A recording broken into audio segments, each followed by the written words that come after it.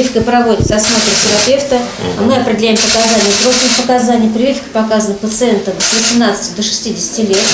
Значит, у тех э, лиц, у которых нет обострения хронических заболеваний, нет инфекционных заболеваний. Ну, то есть есть противопоказания, да? Противопоказания есть такие же, как и у обычных Анализ на антитела перед вакцинацией строго обязателен. Если их обнаружат, прививку не сделают. Тем, у кого противопоказаний нет, ведут две дозы с разницей в 21 день. Иммунитет COVID-19 появится только после введения второй дозы вакцины «Спутник Ви».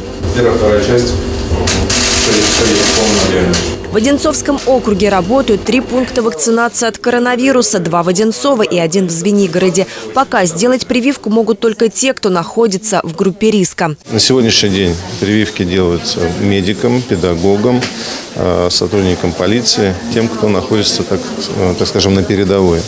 Всего мы получили уже 540 комплектов, из них э, 187 э, успешно сделаны. Прививка делается в два этапа. Между этапами три недели э, проходит. Побочные эффекты после прививки от коронавируса наблюдаются у немногих и быстро проходят.